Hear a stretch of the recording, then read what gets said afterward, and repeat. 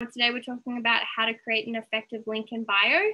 So the link in bio, if you guys aren't aware, is just that small link in your about section of your Instagram that allows you to increase website traffic and other avenues of digital content. For example, your blog posts, other social media accounts. Um, so as you guys probably know, when you post on Instagram, you can't actually cl- include a clickable link in your posts. Um, as well as the fact that you can only include one URL in your Instagram bio. So today we are showing you how to create multiple links within that one link. So that way, if you are posting on social media quite often, you can have links in your bio that um, link back to your website, uh, an offer or experience or a product that you're promoting, um, your new blog posts, um, all these things that you can have in your bio at all times without having to interchange um, separate links all the time. So instead of creating a Instagram post that says, "Hey, check out our latest um, product," um, all you have to do is head to our website, um, click on our products, click the third um, button, and there you go. A lot more people are going to be less enticed to go through that process themselves, as opposed to if you just said, "Hey, check the link in our bio," and and it, it sends them right there right away. So the first link that we recommend to you guys is creating a mobile friendly link page on WordPress or whatever um, website builder um, you use, um, because that way it is interchangeable. It is mobile friendly, which is particularly important since 99% of users go on social media on their mobiles. So having something that is mobile friendly is really important.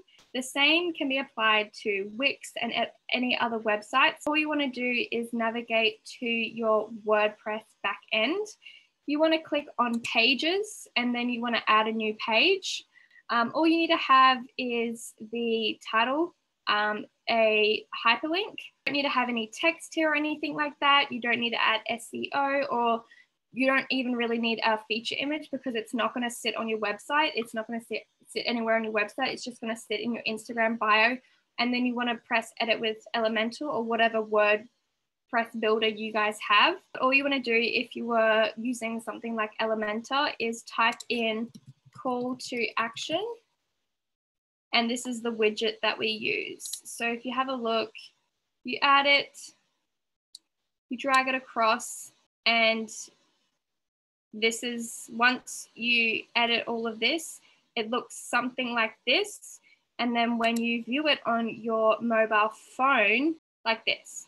So when people click the link in your Instagram bio, it can look like this. So you have a nice header, you have a title, you have a little description, and then you have a link that directs you to that specific page. So this way, not only is it free, not only does it sit on your website and the fact that it's mobile friendly, it has a lot more features that you can customize. This is the layout that we do, but obviously it's all up to you how you want to design it. You can add more if you want, add less, um, but we found that this works really well.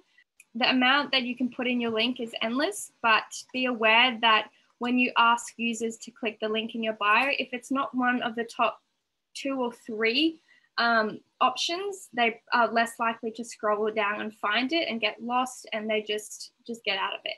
Linktree is the next popular one. Um, it is an easy and effective platform for business owners um, where you can monitor your traffic performance and capture email addresses.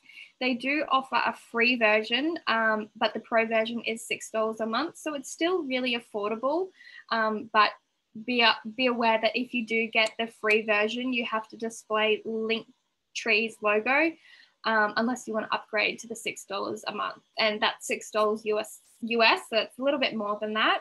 You can choose from a number of themes and you can also view the total number of times your Linktree has been viewed and how many times each individual link linked is clicked. Our lovely Desi Karatius uses Linktree in her um, Instagram. So this is just what it looks like. Um, so you click on that and it'll bring up her Linktree. So right off the bat, you'll be able to see the difference between the WordPress one and the Linktree one. So as you can see, there's no photos, there is no um, little description, there's just the title with a link to whatever she's talking about. Um, another option is that's really popular is the um, link bio. So it is a simpler Instagram link tool. However, it isn't currently customizable. Um, so although that it is like more um, cost effective, so it's only 99 cents per month, there is restrictions on how much you can customize it. You'll have to play around, um, but the tool is simple yet effective. It has everything you need. Um, you can create as many links as you need, and you can even track the links with the stats, the same as the Linktree.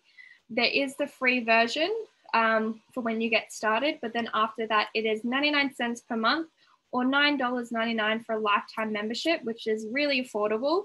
The question is, which one do you choose? So, overall, the WordPress link in bio is free to use. However, it is a lot more complex when trying to constantly interchange links. So although we can show photos and uh, captions, it does take time having to do that. What we do find is that when we add um, photos, we have to go into Canva, design it, design it in like a Facebook cover or YouTube cover because it's quite wide. Um, we have to design all of that um, or just use like the photo that is in like the blog posts. So that does take time. Then you have to upload it. You have to add a little, like a little blurb. Um, you have to put the URL in there, but it is visually pleasing, it is effective, and it sits on your website. So you know that it is always going to work. There's going to be no problems with it. The Linktree, link bio, and all the other ones have some amazing features which may be more user friendly. Um, obviously, you're not going to have to interchange photos and descriptions and all of that.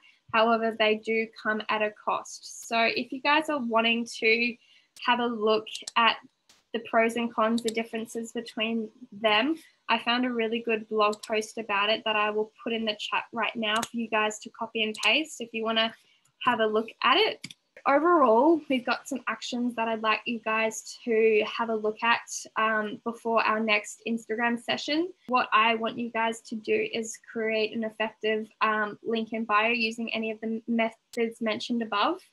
Um, and to go back through any popular blog posts, services, and experiences that you can re promote on your Instagram by creating a post about it, a story, an IGTV, a reel or guide, and then reference it back to the link in your bio. Um, that way you can re um, old content um, and give it a great call to action that you can generate traffic to your website, generate more sales, more traction, more visibility, more engagement, um, and see how that goes for you guys. So that wraps up the proportion of the teaching segment. Hope you guys enjoyed this session and I'll see you in two weeks.